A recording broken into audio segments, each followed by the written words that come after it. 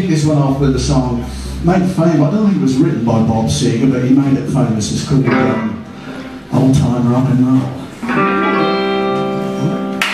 Just take those old records out.